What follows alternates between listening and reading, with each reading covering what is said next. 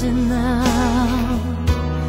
Maybe I dream too much, but when I think of you, I long to feel your touch, to whisper in your ear